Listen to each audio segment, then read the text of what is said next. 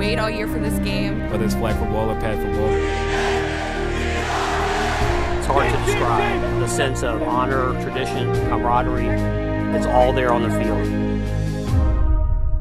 And that's the 15 second USAA Army Navy promotional video we released earlier this week. Hello, I'm Brian Spann and welcome to Meade Week. In a moment, a look at a much longer version with more action from this year's Fort Meade Army Navy game, plus the link to USAA's final four and a half minute video production of this year's game. Also, this week, some important holiday reminders, including the post tree lighting ceremony. But first, amid little fanfare, the long awaited new AAFES Exchange main store made a soft opening last week, about a week after the initial opening of the new food mall. Officials are waiting until the completion of the entire project, including the razing of the old facility and building of the new parking lot, to have an official ceremony. That should be sometime in the spring. In the meantime, not all of the mall and main store features are in place yet. This includes the pharmacy, optometry clinic, and lawn and garden shop. As for the new store itself, the facility is huge, more than 170,000 square feet of floor space. You'll find the usual suspects like the power zone and men and women's clothing, you also find a large selection of grocery items and more for the home, including the furniture store display. Facilities from the old store have moved. The barber shop moved into the new Exchange Mall, and Dunkin' Donuts is now located in the Express 32 shopette next to Arby's. It's not 100% complete, but the new Exchange Mall is open with a lot of new stuff already. Earlier this week, Meade TV posted the first video released by the USAA video team that filmed last month's Army Navy game here at Fort Meade. That video is being used to promote the big Army Navy game in Baltimore on December 13th. Today I have a longer video for you and in a moment a link to the final four and a half minute production by USAA.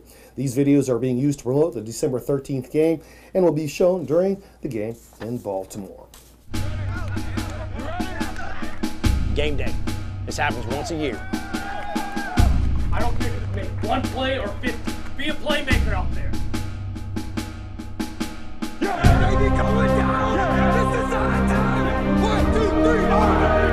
Out here on that 100 yard field, it's smash mouth football. It's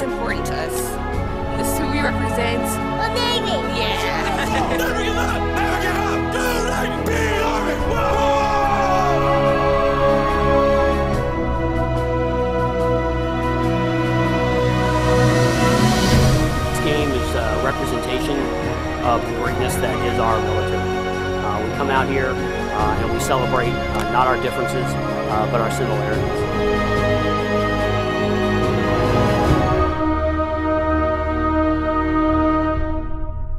This is a scene from the final production. You just simply have to catch it.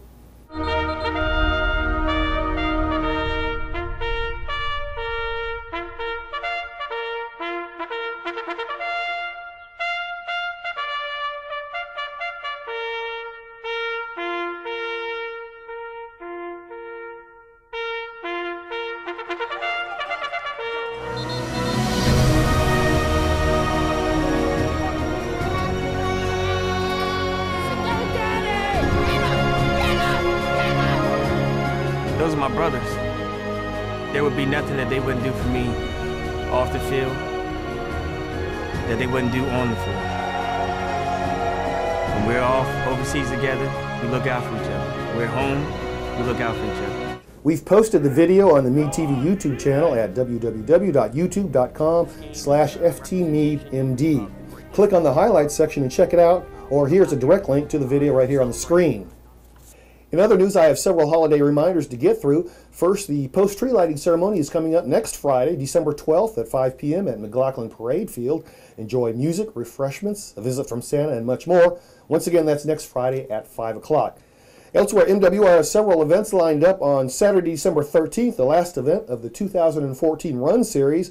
The annual Reindeer Run 5K takes place at Murphy Fieldhouse. You can get more information by calling 301 677 7916 or going to www.ftmeademwr.com. Once the run's complete, you might want to consider breakfast with Santa. That's coming up on Saturday the 13th as well. It's from 8 to 11:30 a.m. at the Fort Meade Conference Center. Breakfast with Santa is an extremely popular event. You want to get your tickets in advance. Stop by the Child, Youth, and School Services Youth Center or call 301 677 1437. And that's Meade Week for this week. I'm Brian Span. For everyone at Meade TV and the Fort Meade Public Affairs Office, have a great weekend and a great Meade Week.